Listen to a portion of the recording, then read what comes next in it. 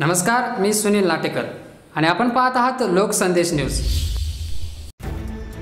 कोल्हापूर जिल्ह्यातील नद्यांना पूर आल्याने त्याचे पाणी रस्त्यावर आले आहे त्यामुळे अनेक रस्ते बंद आहेत. काल मध्यरात्री कर्नाटकातून आलेली एस टी रत्नागिरीकडे निघाली होती.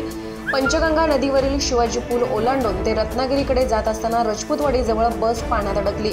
पाण्याच्या प्रवाहामुळे बस वाहून जात होती. बसमध्ये पंचवीस प्रवासी होते.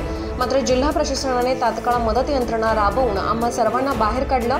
कर्नाटक महाराष्ट्र कोणताही भेदभाव न मानता कोल्हापूरकरांनी आमचे जीव वाचवून आमच्यावर उपकार केले अशी भावना कर्नाटकच्या चालक वाहक यांनी व्यक्त केली आहे. पूर्ण रत्नागिरी चाललो होतो साहेब. कर्नाटक गव्हर्नमेंटची बस आहे. आणि बसमध्ये बावीस ते पंचवीस लोक होते. लहान मुलं वगैरे सगळे मिळून.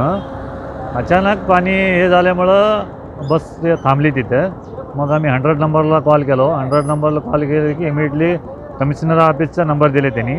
कमिशनर ऑफिसला कॉल केलं तरी कमिशनर साहेबाचा नंबर व्हॉट्सअप केले ते आम्ही कमिशनर साहेब डायरेक्ट कॉल करून असं असं झालं साहेब आमच्या कर्नाटक गव्हर्नमेंट बस आहे. तर पाण्यामध्ये अडकले केरलेजवळ मग आम्हाला हेल्पच्या पाहिजे म्हणून सांगितलं. इमिडिएटली त्यांनी टीम पाठवले. आपत्कालीन टीम दोघंजणं चालत पाच किलोमीटर पाण्यामध्ये आले ते बस शोधण्यासाठी. नंतर त्यांनी हे केले लोकेशन टाकले की बस इथं केरलेजवळ आहे म्हणून सांगितल्यावर ते बोटमध्ये घेऊन लहान मुलं होते आ- सहा सात लहान मुलं आठ बाया होते. अगोदर त्यांना बाहेर काढले नंतर बाकीच्यांना नऊ जणांना सगळ्यांना बाहेर काढले. सगळ्यांनी व्यवस्थित बाहेर आलेलं आहे काही हे नाही. आणि कर्नाटक महाराष्ट्र हे भेदभाव न करता आम्हाला कमिशनर साहेबांनी इतकं हेल्प केलं की त्यांचा आम्ही मरेपर्यंत आम्ही त्यांचा किती आभारी जरी ते केलं तरी कमीच आहे ते कमिशनर साहेबाचा नाही अब्बास अली मुल्ला कंडक्टर